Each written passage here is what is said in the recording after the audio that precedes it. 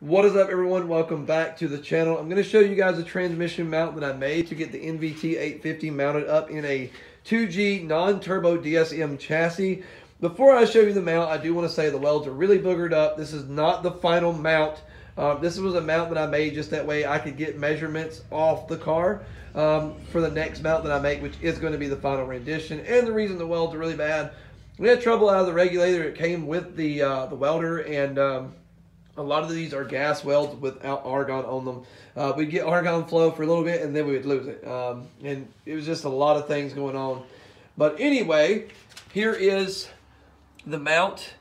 As you can see, like I said, the welds are absolutely terrible. Now, this is just a rough draft of the mount. That way I can take this off the car and then I have measurements. I don't have to be right at the car.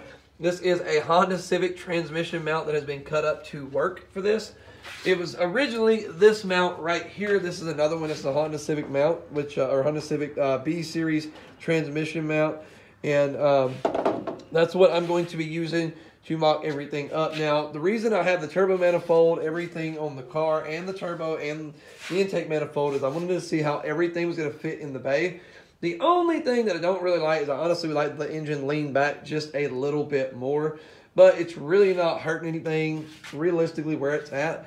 When we work on the car, uh, drag racing, something goes wrong, I do like the fact that I have a ton of room to get to everything. Honestly, this thing fits better in the bay than the 420A did. I, I kind of feel like this should have been the motor to go in the car. Um, this would have been a perfect turbo counterpart to the 4G63, but it probably would have been a, an economy version at that point. So, um, I'm working on the engine mount now.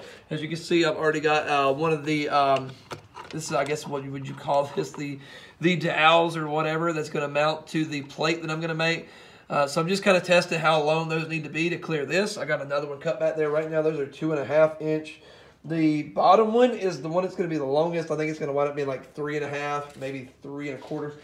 Um, then we're going to take a piece of plate, weld that plate on, and then this feller is going to go down there and it's going to weld onto that plate. Um, it's going to need quite a bit of plate to get it to where it it's going to meet that, but we will get it there. Anyways, this is the, as far as we know, once again, the first four or SRT4 in a non-turbo or really any DSM chassis for that matter, as far as we know. I know a lot of people put the 2.4s, the EDZs, and, and I've seen a couple people actually put the SRT4 engine in, um, but we are the first to put the NVT 850 paired up with it. Um, and a lot of people know why I chose to do that. Why is that a better? One of the biggest reasons that this is the swap that I wanted to go with, if you haven't noticed, BC and a bunch of other companies have stopped making performance parts for the 420A. And you really can't modify it for the power goals that I want to make out of it. And honestly, the power goals I have in mind for that, it's really not a good engine for it anyway because they don't like making power. Now, as far as the transmission side goes, we're going to clean all this stuff up. The 420A came with the NVT 350, which is pretty much the little brother of this. Doesn't come factored with an LSD. This is a LSD trans. It does have the Queefy um, LSD in it. So anyway, that transmission has so many people that manufacture parts for it. This one's going to become a Liberty Gear dog box. This engine right here is getting Wiseco boost line rods, Wiseco pistons, a fully um, max effort ported and polished head by all motor mic with an all motor mic center feed intake. Um, everything else in that engine is going to be BC with a one millimeter oversized valves. Honestly, we should be able to make a thousand horsepower out of this thing when we're done. That is my goal. Um, honestly, 90% of the time, though, we will keep it under that on the track. But when we need it, we have it they're available.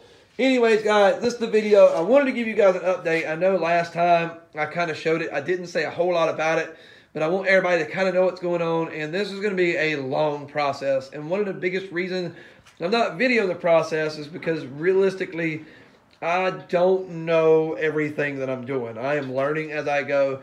And in order to make a video, I mean, you're talking like a 20, 30 minute video this this motor or this transmission mount took me literally a day and a half to get right. Um, so many measurements that need to be made before you do anything.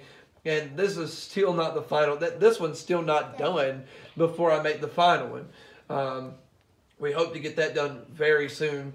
Um, I'm gonna hopefully, like I say, finish this up next week. Get started on the motor mount next week as well. Even though I'm kind of started on it now. And then once we get that done, I will work on the third mount that's going to mount to the cross member and the diff cover of the transmission. Anyways, that's going to be the video, guys. I wanted to make sure you guys had an update on this car and what's actually going on.